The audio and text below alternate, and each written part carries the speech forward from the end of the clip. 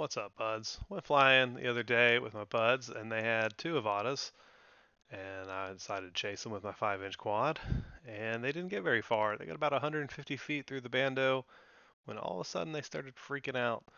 One of them just throttles up and veers off into the wall, and then the second one veers off into the wall right after it. And I thought for sure it was interference. Here it goes. One takes off of the moon, bounces down, and here goes the second one. But it wasn't interference. It's not a signal interference problem. Here's the replay. I think what's actually happening is it's too dark.